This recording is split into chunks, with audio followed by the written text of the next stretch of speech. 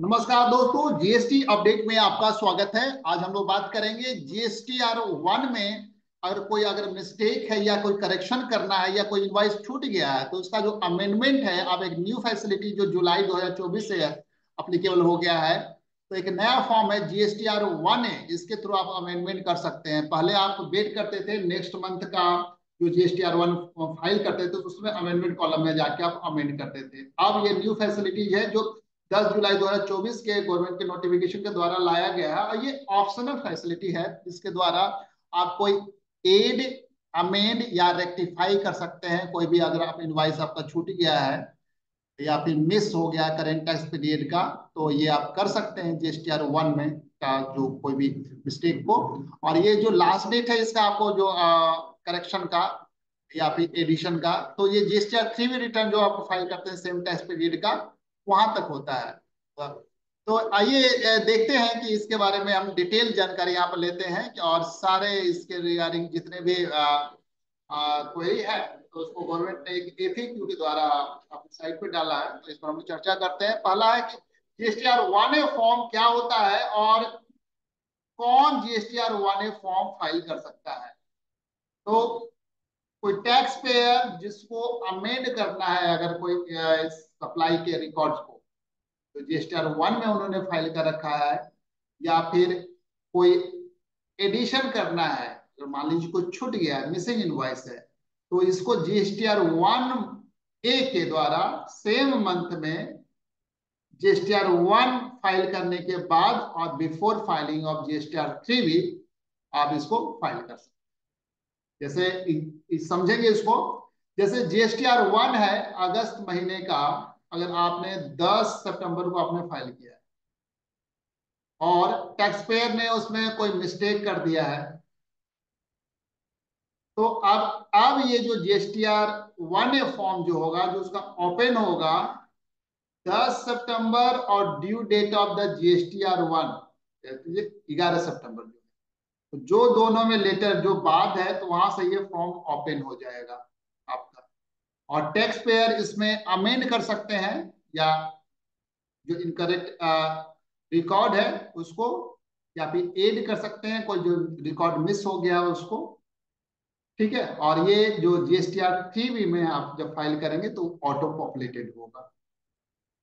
अब प्रश्न ये उठता है कि जीएसटीआर वन ए फॉर्म कब अवेलेबल होगा फाइलिंग के लिए?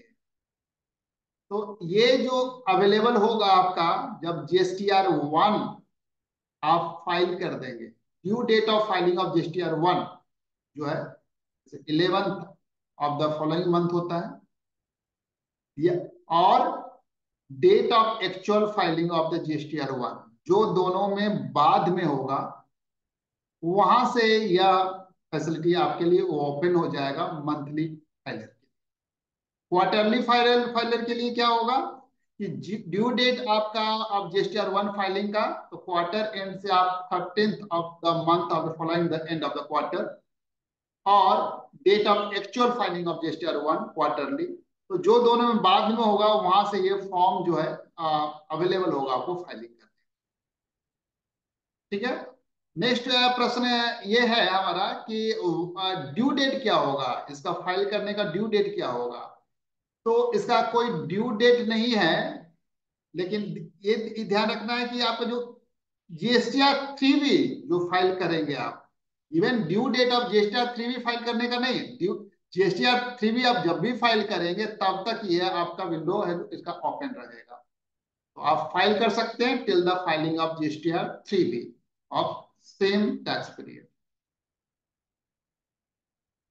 अब प्रश्न ये है कि क्या हम GSTR one A GSTR three B के फ़ाइल करने के बाद फ़ाइल कर सकते हैं? तो नहीं।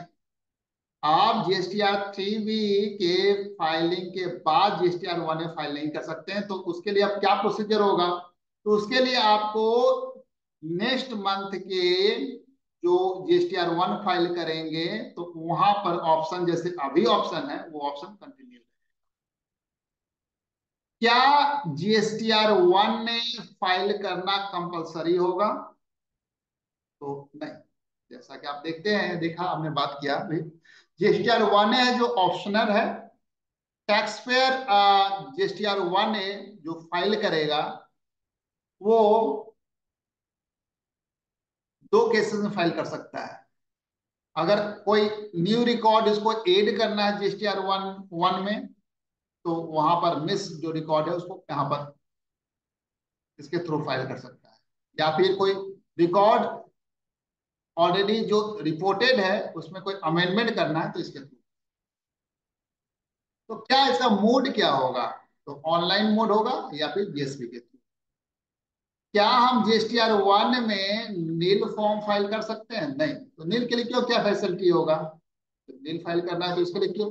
क्यों ज़रूरत है? तो no filing of just nil GSTR one is not available क्या हम जीएसटीआर वन में जो अर्लियर रिपोर्टेड है है ना अमेंड उसको अमेंड कर सकते हैं? तो पहले जो जीएसटीआर वन फ़ाइल कर रखा है, पिछले टैक्स पीरियड का, क्या उसमें अमेंडमेंट कर सकते हैं जीएसटीआर वन से? तो नहीं. जीएसटीआर वन आपको अलाउ करता है GST R one current tax period का जो में आप कुछ एड करना है या करेक्शन करना उसके लिए अवेलेबल है। पिछले आ, महीने का जीएसटी आर वन में अगर कोई मिस्टेक हो गया है एड करना उसके लिए ये जीएसटी आर वन अवेलेबल नहीं है। तो आपने अर्लियर अगर जीएसटी आर वन कल फ़ाइल कर रखा है तो उसको आप अमेंडमेंट सब्सिक्वेंट जीएसटीआर वन जो फ़ाइल करेंगे सब्जेक्ट टू जो टाइम लाइन है लॉ के अंदर वहाँ तक आप कर सकते हैं। उसके थ्रू करें। नेक्स्ट प्रश्न है, क्या हम जीएसटीआर थ्री भी, ठीक है, हम फ़ाइल कर सकते हैं? अगर अगर जीएसटीआर वन ने हमने सेव कर लिया है रिकॉर्ड तो क्या हम जीएसटीआर थ्री भी पहले फ़ाइल कर सकते हैं? तो इस केस में अगर आपने जीएसटीआर वन ने फिल कर लिया है सेव कर लिया है तो जीएसटीआर थ्री भी आप फ़ाइल करने में आपको एरर शो होगा। तो आपको क्या करना है कि जीएसटीआर वन ए को रीसेट कर देना है या डाटा को डिलीट कर देना है, तब आपका जीएसटीआर थ्री भी आपका फ़ाइल क्या हम डेबिट नोट या क्रेडिट नोट जीएसटीआर वन में एड कर सकते हैं तो हाँ जी। डेबिट क्रेडिट नोट का कोई भी डिटेल है तो आप करस्पॉन्डिंग टेबल जो है जीएसटीआर वन ए में, उसमें एड कर सकते हैं। क्या रिसिपियंट जीएसटी आय उसको भी अमेंड कर सकते हैं? तो नहीं। GSTIN of the recipient उसको अमेंड नहीं कर सकते हैं जीएसटी आर वन ए के थ्रू ठीक है? तो इसको हम amendment only through the GST R one of the following tax period है, उसके। नेक्स्ट प्रश्न है कि हमने quarterly filing of the GST R one choose कर रखा है। क्या हम एड या अमेंड कर सकते हैं? डिटेल्स ऑफ़ कोई भी रिकॉर्ड जो आई एफ़ है जो इनवाइस फर्निशिंग फैसिलिटी है मंथली हमारा, उसके थ्रू हम कर सकते हैं। इन जीएसटीआर वन में? तो हाँ। कोई भी रिकॉर्ड अगर आपने फर्निश किया है मंथ वन मंथ टू का थ्रू इनवाइस फर्निशिंग फैसिलिटी के थ्रू तो आ, उसको आप अमेंडमेंट जीएसटीआर वन में कर सकते हैं सेम टैक्स पीरियड में जो अवेलेबल होगा after filing of GSTR one quote unquote and before filing of GSTR 3B obviously.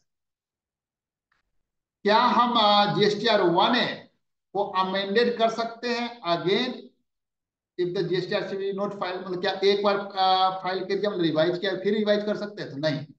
GSTR one A can be file only once for a particular tax period even if GSTR 3B is not filed. तो इसके regarding सारे जो query है जो आपको यहाँ पर डिटेलर्स का आ, दे दिया गया। अगर इसके रिगार्डिंग कोई भी कमेंट क्वेरी हो आप तो कमेंट्स बॉक्स में आप उसको डाल सकते हैं। Thank you so much for watching this update